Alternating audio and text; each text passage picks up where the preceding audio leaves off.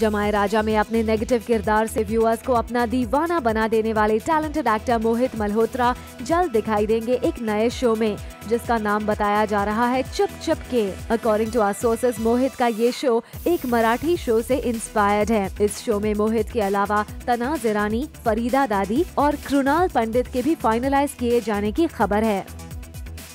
For all the Garma Bollywood gossip news and more, download the Zoom app now.